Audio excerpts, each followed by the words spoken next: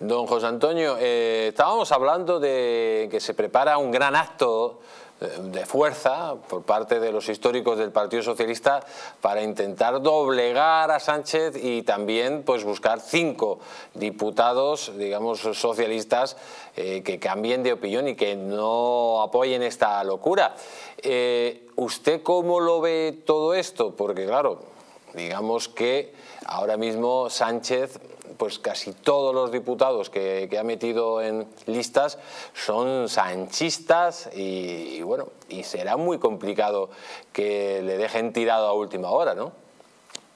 Sí, bueno, eso es prácticamente imposible, yo creo, ¿no? Eh, pero, mm, en fin, cada uno tiene que cumplir con su obligación y ser consecuente con su conciencia. Así que me parece que eh, hemos visto durante muchísimo tiempo que en el Partido Socialista pues efectivamente estaban en contra, o por lo menos así se manifestaban dirigentes históricos y algunos de los dirigentes también del partido actualmente, estaban en contra de medidas de Pedro Sánchez. Pero al final nunca hacían, hacían nada, con lo cual, pues eh, digamos que, que, bueno, mm, tampoco mm, servía demasiado más que testimonialmente.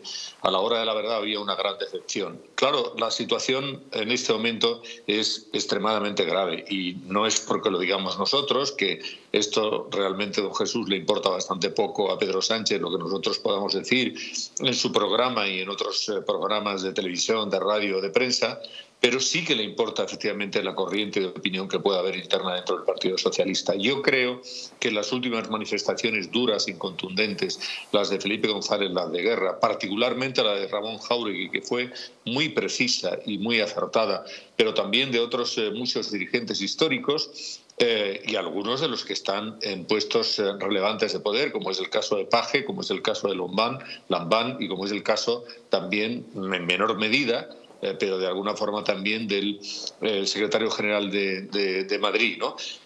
Bueno, yo creo que deberían, deberían presionar porque la situación es extremadamente grave y efectivamente difícil, difícil es. Mm, Sánchez ha llenado el Congreso de los Diputados, los escaños de la bancada socialista, de personas afines a su, a su imagen, a su personalidad.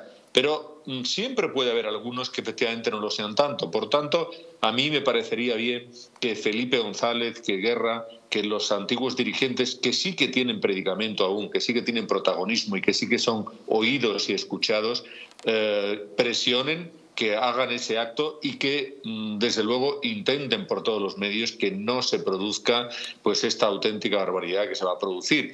Desde el punto de vista no solamente ya de la amnistía, que por supuesto, sino de lo que significa para España, para la imagen de España, que una persona que ha sido condenada por un delito de grave y de lesa traición, como es el de levantarse contra el Estado y declarar la independencia de Cataluña, al final salga de rositas sin haber sido ni siquiera, sin haber comparecido ni siquiera ante el juez y sin ningún tipo de condena, eh, lo cual mm, verdaderamente es una afrenta, como dijo Alfonso Guerra.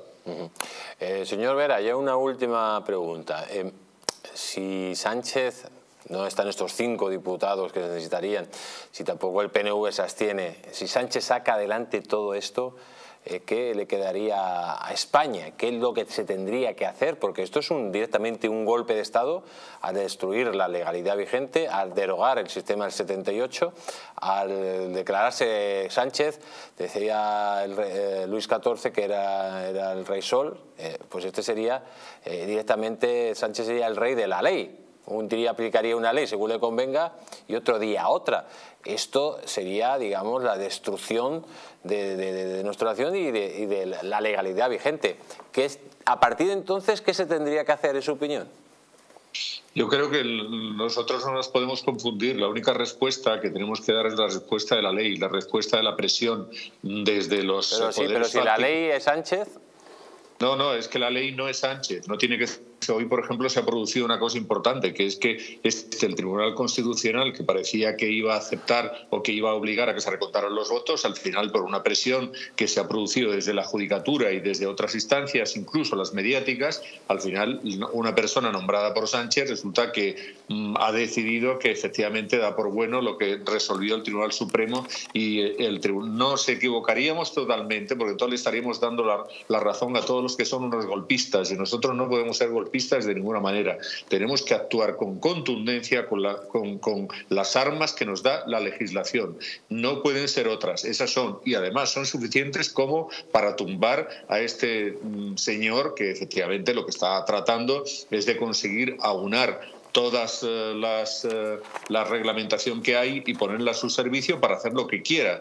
Pero nosotros somos muchos eh, los que estamos, no solamente los que estamos en posiciones que no sean estrictamente socialistas, sino en otras posiciones, incluso dentro del Partido Socialista. Y si mm, andamos coordinados y no nos dividimos, y no empezamos a tirarnos los pies, uno, los, perdón, los, los, los bloques o las piedras unos a otros a la cabeza, creo que lo podremos conseguir. Pero no nos equivoquemos, lo que no podemos hacer nosotros es mm, ponernos al nivel de los golpistas.